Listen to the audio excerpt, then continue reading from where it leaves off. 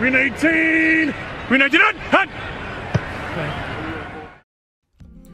안녕하세요 반갑습니다 빅다운입니다 지난 2주간 NFL판에서 가장 많이 회자된 선수는 다름 아닌 피츠버그 스틸러스의 조지 피켄스일 거예요 01년생으로 2라운드에 드래프트되었던 조지 피켄스는 그 재능은 정말 뛰어난 선수인데요 운동 능력 끝판왕인 NFL판에서 3초의 시간 안에 자기와 1대1로 맡은 상대 수비수 cornerback을 완벽하게 제끼고 패스를 잡아낼 수 있는 선수는 많지 않습니다.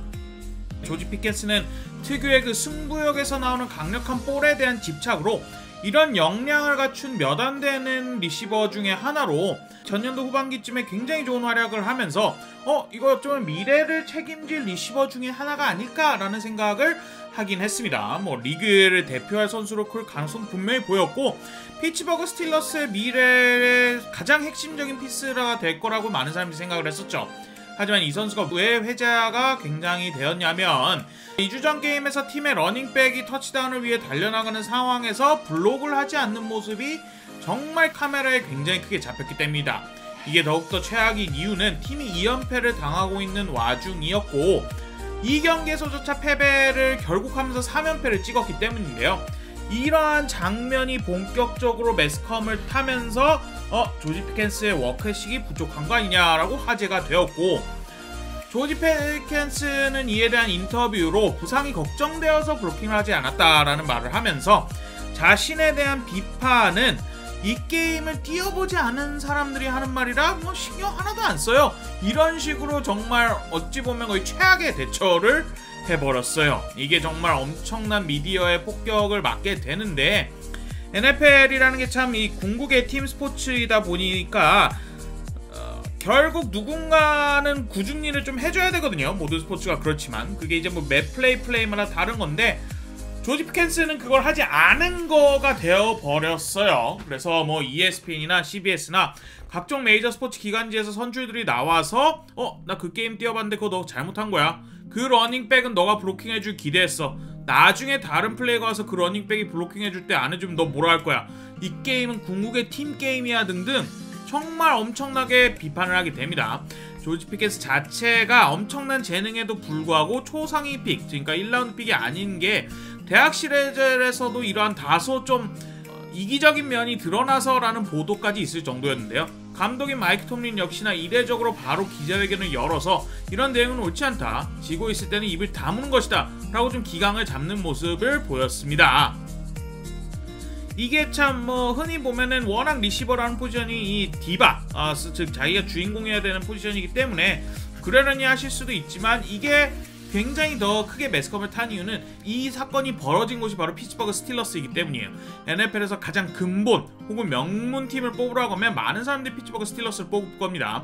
우승 횟수도 6회로 공동 1위에 그 기나긴 역사 동안 감독이 단 3명이고 이런저런 화려한 플레이도 가능하지만 그보다는 팀 기강, 강력한 수비 이런 걸 장점으로 하는 팀이었어요 항상.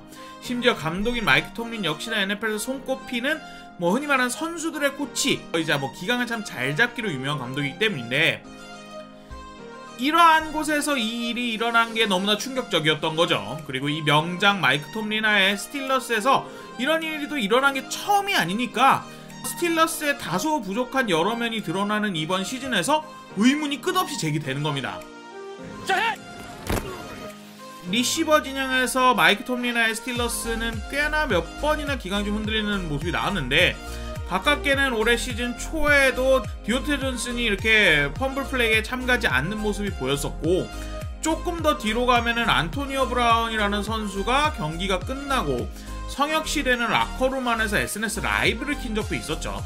이처럼 일이 계속 터지는 리시버 진영에서 조지 피켄스가 또 한 번 좀 이기적인 행동을 하게 된 건데 마이크 톰린은 뭐 그럼에도 불구하고 애가 잘 배울 것이다. 우리는 피켄스를 계속 기용할 거다라고 인터뷰를 합니다.